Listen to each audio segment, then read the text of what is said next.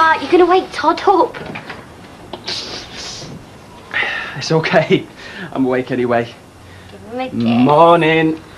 Oh, it's half ten. Should have got me up before. You need your sleep. You work so many hours in the week, I worry about you. Yeah, but all the same, I get so little time with you. Don't want to spend it sleeping. I know. Just got to make some time to ourselves somehow. Yeah. And that's what we're going to do today. Oh. Just me and you, just the two of us.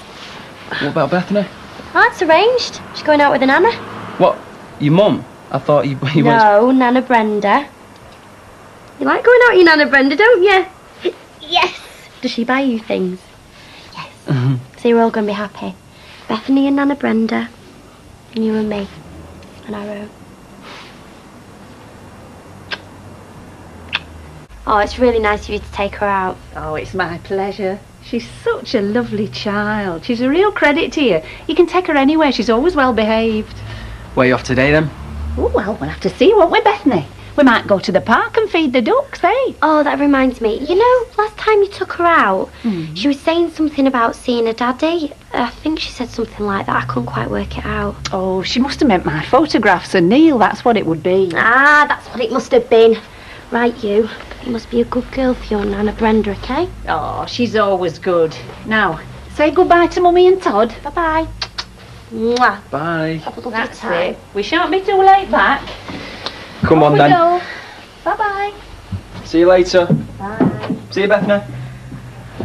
Oh, it's really nice to get a bit of time to ourselves. I mean, I love her to pieces, but sometimes it's just nice.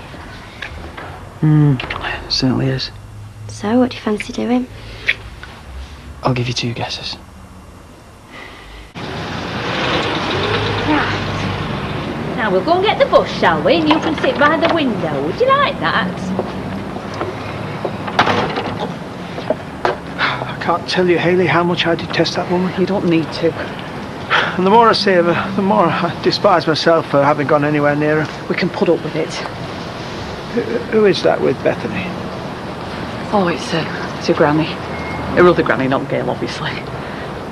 Just keep thinking about your baby, Roy. Our baby. That's what's going to make this all worthwhile.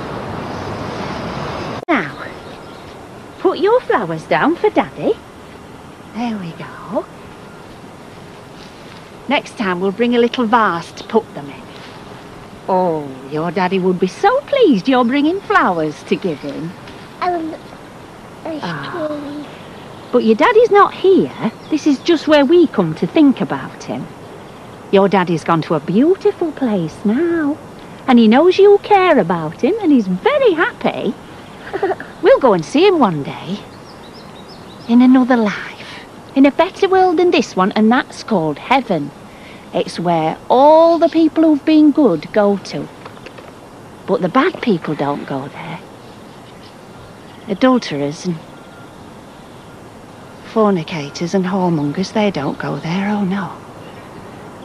People like your grandfather. He left your daddy and me. He didn't want us, he'd no use for us. He wanted sluts and vicious little trollops.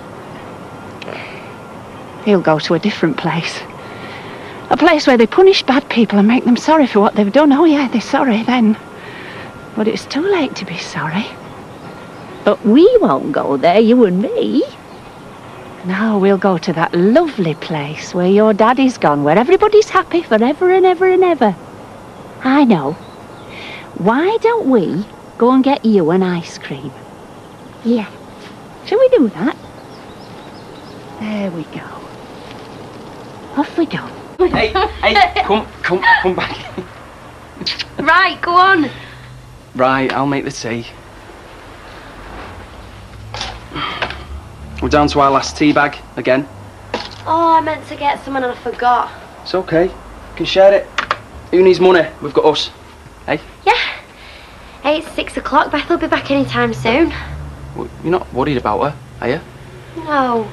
She's fine with Brenda. It's just when she's been gone a few hours, I start to miss her. Bit silly, I suppose. No, no, it's not silly at all. I miss it too. But you're happy with me though, aren't you? I mean, when there's just the two of us. Yeah, of course I'm happy. You're not gone off me then? No, I'll never go off you. Let's brought this on.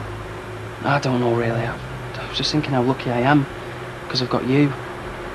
And how awful it'd be if I ever lost you. Well, you won't, because I love you and I always will. Sarah, why don't we have a baby? Yours and mine.